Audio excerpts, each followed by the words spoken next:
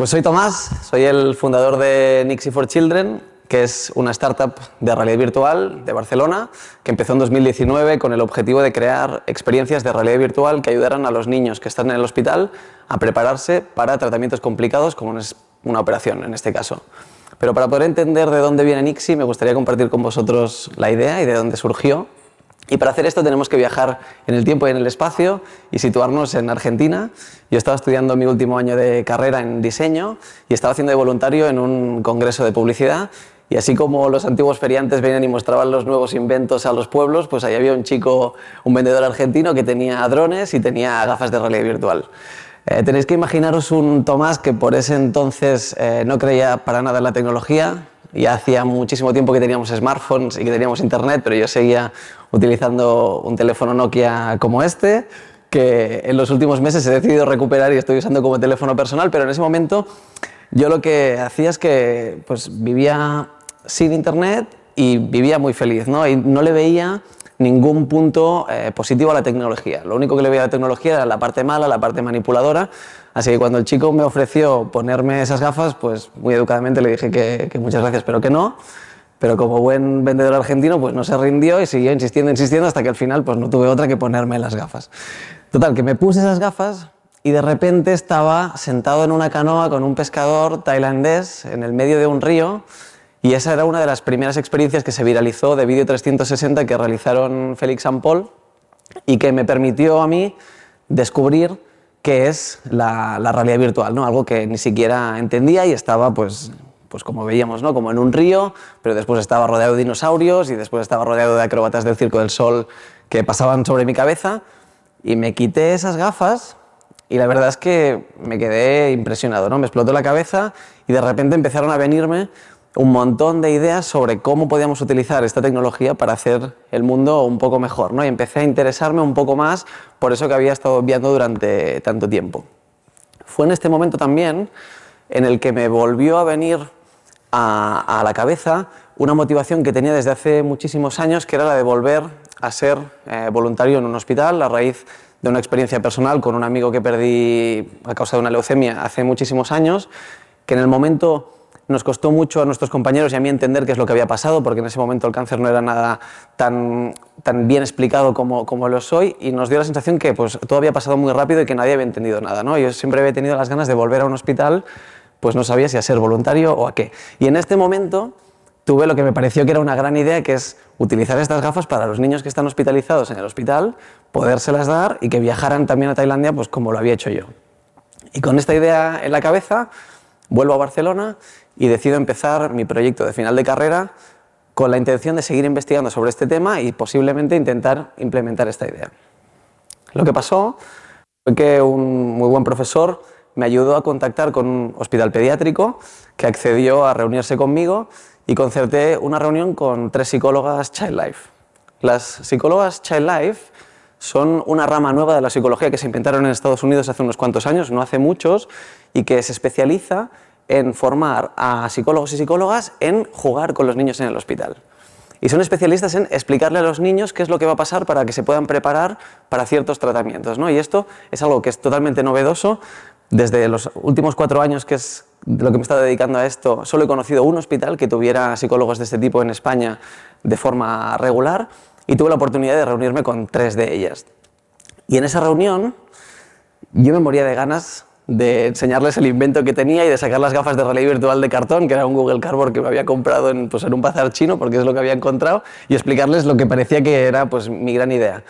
Pero por una vez, en toda la carrera decidí escuchar a los profesores y hacerles caso en algo que nos estaban repitiendo una y una y otra vez, y es que para ser un buen diseñador lo que tú tienes que hacer antes de diseñar algo para un cliente es conocer muy bien a ese cliente. ¿no? Tú no le puedes diseñar un logotipo a alguien sin saber pues, cuál es su cultura de empresa, a qué se dedican, qué clientes tienen y qué es lo que hacen, cuáles son sus productos. ¿no? Pues en este caso yo tenía que hacer lo mismo. Yo no podía pretender llevar una idea del millón que a mí se me había ocurrido en Argentina después de ponerme unas gafas por primera vez y pretender que eso encajara en un hospital sin ni siquiera saber cómo funcionaba el hospital. Así que les hice caso y decidí limitarme a escuchar y a hacer preguntas. Durante muchas horas estuve hablando con ellas y me estuvieron explicando diferentes actividades que hacen para mejorar la vida de los niños en el hospital y descubrí un montón de cosas que se hacen que son increíbles, pues como por ejemplo eh, utilizar perros para que los niños coman. Hay una situación que es bastante habitual, que es que cuando los niños tienen un trasplante de médula, después tienen que estar en aislamiento durante un tiempo porque son eh, muy vulnerables a cualquier tipo de enfermedad, entonces están aislados en una cámara durante un tiempo en el que van a estar solos o como mucho con un acompañante. Y hay muchos niños que porque se encuentran mal dejan de comer. Y en ese hospital lo que hacían es que montaban videollamadas con un perro, que es la patrulla carina del hospital, para que el niño comiera al mismo tiempo que el perro iba comiendo, entonces se convertía en un juego y los niños volvían a comer. ¿no? Y entre estas muchísimas otras cosas. En una de estas preguntas y conversaciones, una de las psicólogas sacó un álbum de fotos. Y en ese álbum de fotos me empezaron a explicar que era un quirófano y me enseñaban fotos ¿no? del quirófano y me empezaron a contar que tenían una preocupación muy grande porque ellas querían que todos los niños que iban al quirófano pudieran ver qué es lo que se iban a encontrar porque les generaba mucho miedo. Y aquí fue cuando empezamos a ver la luz de lo que acabaría siendo Nixie for Children, ¿no? porque lo que yo desde mi ignorancia había imaginado como un proyecto muy grande resultó que en un hospital pediátrico medio tan solo un 1% si llega de los niños que pasan por el hospital en un año son los que se quedan hospitalizados. Pero hay algo que casi todos los niños tienen en común y es que en algún momento de su vida van a tener que pasar por un quirófano. Pues un espacio como el quirófano, que nosotros tenemos muy en nuestro imaginario porque hemos visto House y porque hemos visto muchas series, a un, niño pequeño le genera mucho miedo porque es un espacio hostil, es un espacio blanco, con un montón de máquinas, hay un montón de gente haciendo cosas, hay gente vestida de verde, con mascarillas, con gorros. Ahora la mascarilla la tenemos muy por la mano, pero en su momento el cambio de ver a una doctora y de repente verla con mascarilla era muy raro para un niño también, tan solo la mascarilla. Y el tenerse que separar de los padres y entrar en un terreno hostil, solos, en el que se van a tener que poner una mascarilla que les va a dormir y entender por qué es todo esto, genera ansiedad preoperatoria. Tirando del hilo, descubro que eso no le pasa solo a unos cuantos niños, sino que en España se operan más de medio millón de niños al año, en Estados Unidos más de 4 millones y que entre un, entre un 50 y un 80% van a sufrir ansiedad preoperatoria. La mayoría de los casos por el miedo a lo desconocido y por tenerse que separar de sus padres. Pero es que esta ansiedad no solo va a ser un momento de susto y de miedo, sino que se va a traducir en una mayor toma de ansiolíticos, un mayor tiempo de recuperación, una mayor percepción de dolor y regresiones en la conducta que pueden ir hasta seis meses después de la operación, como volverse a hacer pipí en la cama, tener miedo de separarse de los padres o tener miedo a la oscuridad. Y aquí es donde habíamos descubierto el gran qué y se nos abrió un nuevo mundo que no había podido ver yo antes de conocer el hospital y es que podíamos utilizar la realidad virtual para algo mucho más potente. En lugar de utilizarla como una herramienta de distracción que alejara al niño del hospital, podíamos hacer todo lo contrario. Podíamos utilizar la realidad virtual para que estos niños viajaran a un quirófano antes de ir, pudieran conocerlo de una forma amigable y con esto darles las herramientas para que se empoderaran y luego ellos pudieran afrontar esta situación sin miedo que entendíamos que también formaba parte de su, de su desarrollo y de su, y de su educación como personas el pasar por momentos en los que vas a tener miedo, pero si tú tienes las herramientas y la información adecuada, pues teníamos la esperanza de que esos niños lo pudieran afrontar sin necesidad de distraerles. En ese momento lo que encontramos para ayudar a la ansiedad preoperatoria eran principalmente tres proyectos. Los dos primeros, payasos de hospital y coches teledirigidos, que todos hemos visto en las noticias, son geniales y funcionan brutal, pero tenían dos limitaciones. Una es que pasa en el hospital, en el momento en el que ya vas a entrar a quirófano, con lo cual se pierden la anticipación previa, las semanas previas a la operación, y después es que normalmente se centran en el propio paciente, con lo cual dejan fuera a, la familia. Y aunque sean actividades que son geniales y que además son súper complementarias con, con Nixie, el hecho de que estas dos patas las tengan sueltas hacía que muchos niños vinieran nerviosos igualmente, a veces simplemente porque los padres estaban muy nerviosos y como los niños están tan conectados con los padres, si los padres están nerviosos, el niño también lo va a estar. Y la tercera, experiencias de distracción de realidad virtual, que en este caso pues lo que comentábamos, ¿no? lo que hacían es que el niño no se enterara de nada. Y así fue como plantamos las cuatro bases de nuestro proyecto. Queríamos que fuera una herramienta de exposición, queríamos que fuera muy fácil de implementar para el hospital, tenía que estar eh, clínicamente validada, no podía ser una herramienta que nosotros nos imaginábamos que funcionaba, sino que lo teníamos que demostrar, y después que teníamos que incluir a toda la familia en esta experiencia de preparación. Pues después de muchísimo trabajo, conseguimos hacer un prototipo que, como podéis ver, eh, se alejaba muchísimo de algo que todavía fuera bonito o que se podía enseñar a un niño, pero lo que teníamos que demostrar es que podíamos conseguir incluir un personaje 3D que nosotros nos imaginábamos que era el personaje que te iba a explicar toda la historia, en un entorno 360 en, en que pudiéramos ver imágenes reales con, con, personas de verdad. Este fue nuestro primer prototipo de, kit de realidad virtual, con las gafas que os comentaba del Tiger, pero aquí ya con una pegatina de, de Nixie for Chip. Y aquí nace realmente el proyecto en 2019. Os voy a poner un pequeño vídeo para ver cómo estamos haciendo las cosas ahora, ahora que habéis podido ver el prototipo inicial. Gracias, Nixie.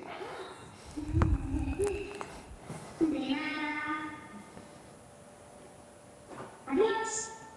Siento un poco de nervios, Victoria. ¿Y cuándo podré ver a mi familia?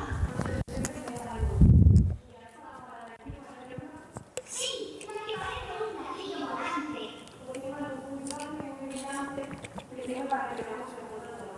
Ah, ¿y cómo es que las volantes sin borre la cabeza?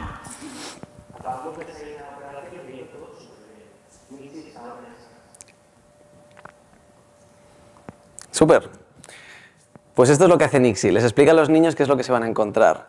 Tuvimos que tomar un montón de decisiones sobre cómo iba a ser el contenido. ¿no? En este caso veíamos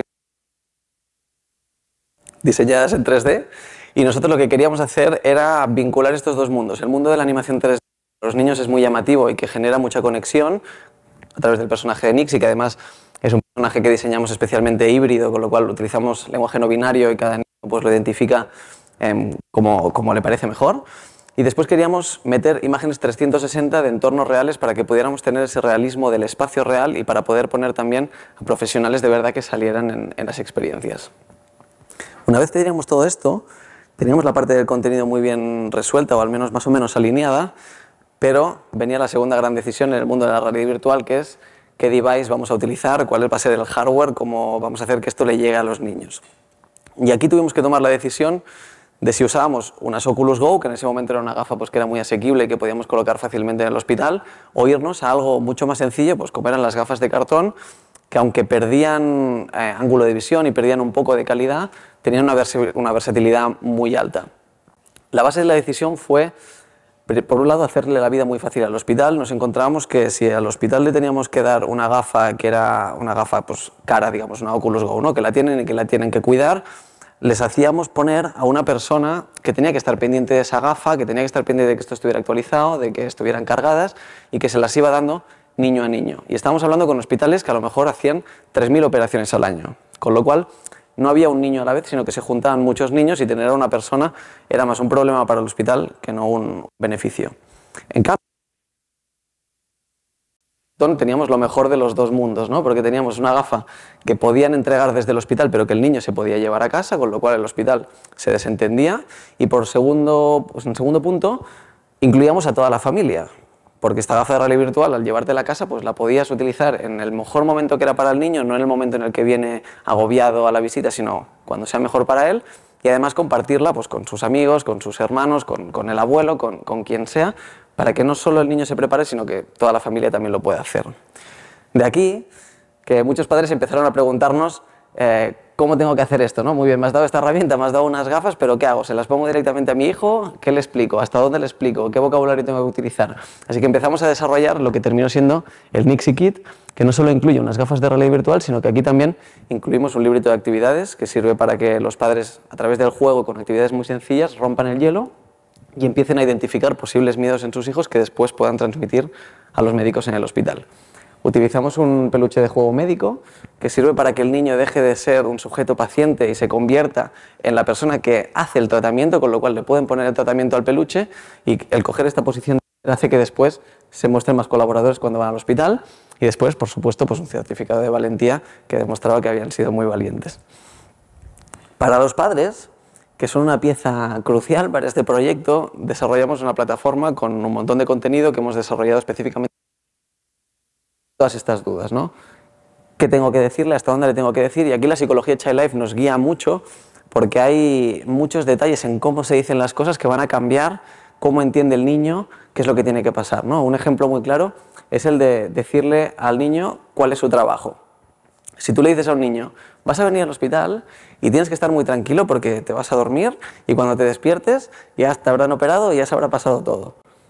En nuestra cabeza tiene mucho sentido porque nos vamos a dormir y nos, nos desentendemos, pero a un niño que no le gusta dormir o que le cuesta dormir, le estás pasando la responsabilidad de estar dormido durante la operación. Entonces la, la duda es, ¿y si me despierto a medianoche porque yo siempre me despierto a hacer pipí? ¿Me voy a despertar y me, me voy a encontrar a media operación? Claro, son dudas que es muy importante alinear con, con el guion. ¿no? Y de aquí el definir muy bien cuál es el trabajo de cada uno. Y en este caso, el trabajo del niño es ayudar a los médicos a que todo funcione bien y respirar de una mascarilla de plástico que huele a... Ya me vas a decir tú a qué, a qué huele porque a cada niño le huele diferente. Y ese es su trabajo. El trabajo de la anestesia es que tú estés dormido durante toda la operación. Y cuando te despiertes, vas a estar ya con tus padres. Y le contamos solo lo que el niño va a, a experimentar con sus cinco sentidos y se los explicamos todos. Le contamos que el quirófano va, va a estar frío, le contamos eh, que va a escuchar una serie de sonidos, le vamos a explicar lo que tiene que ver y le vamos a decir cómo va a oler esa anestesia que se va a tener que poner. Y todo esto se lo tenemos que explicar a los padres para que se lo puedan explicar a sus hijos también. Por supuesto, el hospital necesita llevar un control de cómo se están utilizando estos kits y cuántas veces ha, entrado cada niño a ver la realidad virtual, porque teníamos otro gran reto. Habíamos puesto la piedra inicial de Nixie, habíamos desarrollado el contenido, perdón, teníamos el kit, pero no sabíamos si funcionaba todavía. Entonces desarrollamos en colaboración con el Hospital Germans Trias y Pujol, que fue el primer hospital con el que trabajamos, un ensayo clínico que tenía que demostrar que realmente Nixie estaba reduciendo la ansiedad. Y esto muestro en, primicia porque está en proceso de publicación todavía, pero lo que hicimos fue, con la ayuda de la doctora Franco, que es nuestro ángel de la guarda y quien impulsó todo este proyecto, definir dos grupos de realidad virtual, uno sí y uno no. Y esto se hace de forma aleatorizada y doble ciega. Es decir, el niño viene a la consulta, el anestesiólogo, a través de un sistema de randomización, le dice a la familia si le ha tocado participar en el grupo realidad virtual o en el grupo control. El grupo control va a seguir el proceso habitual en el que el anestesiólogo te explica qué es lo que va a pasar y en el grupo realidad virtual se te entrega unas gafas de realidad virtual.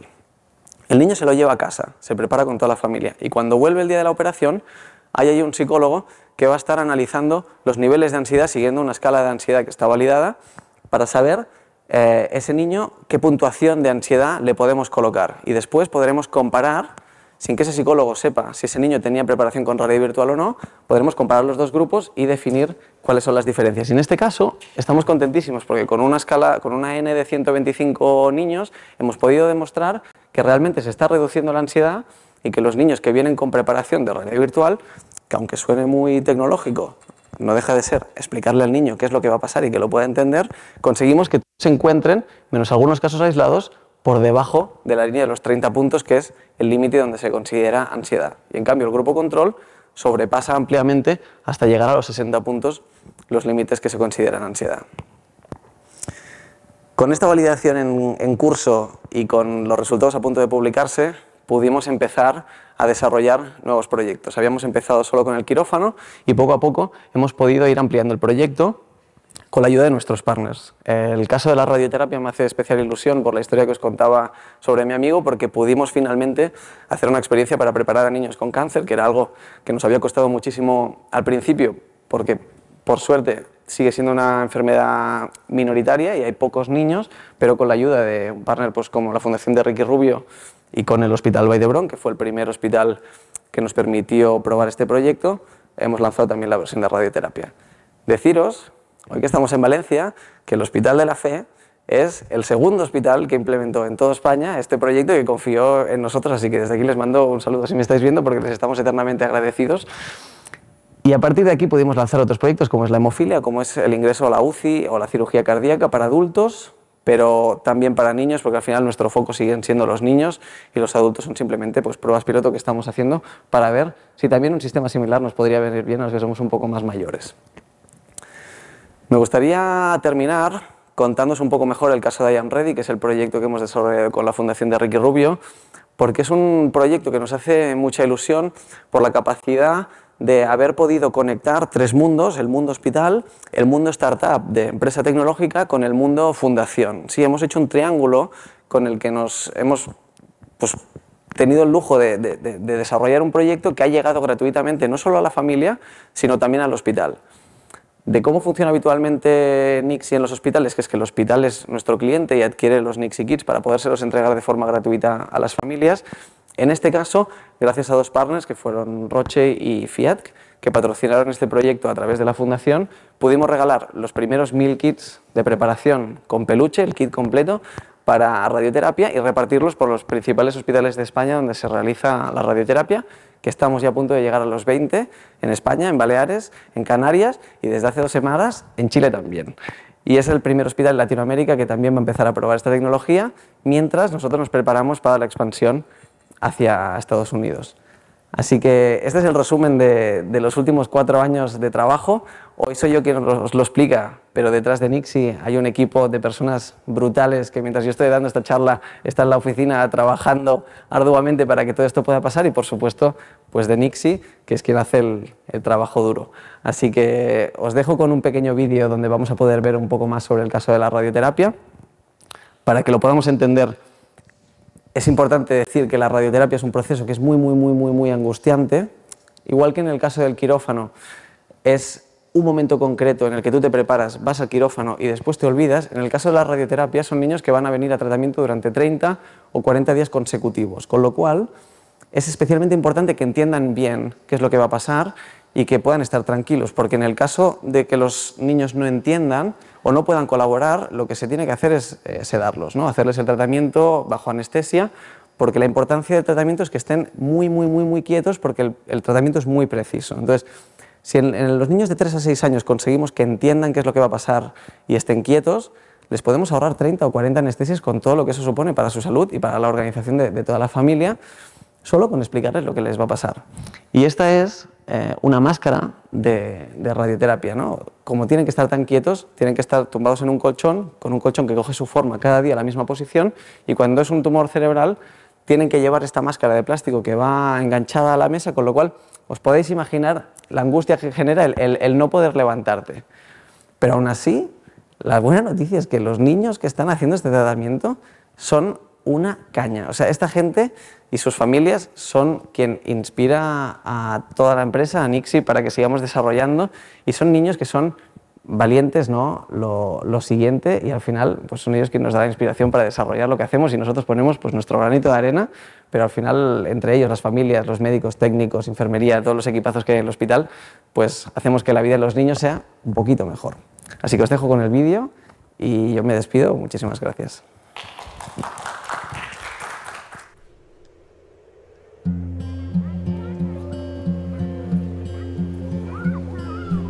El cáncer es una de las principales causas de mortalidad entre niños y adolescentes de todo el mundo. Cada año se diagnostica con cáncer a 300.000 pacientes de entre 0 y 19 años. Cuando visitamos por primera vez una sala de radioterapia entendimos perfectamente por qué los niños le tienen tanto miedo. En Nixie for Children nos dedicamos a crear experiencias de realidad virtual para ayudar a los niños a prepararse antes de su hospitalización. Y esto es lo que estamos haciendo con I Am Ready. Juntamente con The Ricky Rubio Foundation hemos creado una experiencia de realidad virtual para ayudar a los niños en tratamiento de radioterapia. Y el Hospital Vallebrón será el primer centro en implementarla. En el Hospital Vallebrón estamos haciendo un esfuerzo por la humanización. Y en este sentido, estamos convencidos que la realidad virtual ayuda enormemente a los niños a sentirse más cómodos en el, en el, tratamiento de radioterapia, a facilitarles y a quitarles ansiedad. En este, en este sentido, desde el primer momento en que nos hicieron la propuesta, todos los miembros del servicio nos hemos volcado para colaborar y participar, porque es un proyecto fundamental les va a ayudar mucho porque es una cosa desconocida para ellos y el verlos ellos antes en su casa o donde sea con las gafas, llegarán aquí y, sabrán lo que se van a encontrar ese día cuando vengan al tratamiento y cuando vengan al TAC de simulación. Esta es la sala donde haremos las fotos especiales que nos dejan ver dentro de ti. Para hacer eso hay que quedarse muy quietos y para ayudarnos a que no nos movamos, María hinchará un colchón que cogerá nuestra forma. Si podemos ayudar y poner nuestro granito de arena es muy importante, los detalles cuentan, es muy importante la operación o el tratamiento y después la recuperación, pero tanto es eso importante como también la preparación de ello ¿no? y, y, para eso este proyecto creo que puede ser un éxito, creo en él, creo en que está hecho eh, con el corazón y unir un poco la tecnología que hay hoy en día para el bien, ¿no? para ayudar a no tener miedo a una situación muy complicada. Nuestro objetivo al final es llegar al máximo de niños posibles, no solo a nivel nacional, sino a nivel internacional también. Creemos que es muy importante que podamos eh, llegar al máximo de pacientes posible. Además de las gafas de realidad virtual, todos los pacientes reciben un kit con un librito de actividades para facilitar la comunicación con toda su familia y el equipo médico. Y a su vez, un peluche que les servirá para entender qué está pasando dentro de su cuerpo. También, con su kit podrán ver una experiencia de realidad virtual extra donde Ricky les enseñará cómo es un entrenamiento de básquet antes de un partido de la NBA. Gracias a I Am Ready, vamos a poder ayudar a pacientes de hospitales de todo el mundo. Nosotras ya estamos ready. ¿Y tú?